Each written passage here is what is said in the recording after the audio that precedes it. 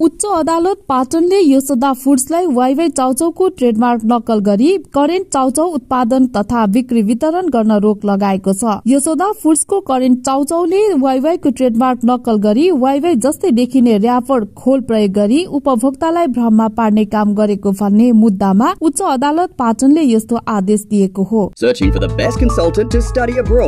Then go for Achievers Consulting Services. Most trusted and experienced over nine years. Achievers Consulting Services.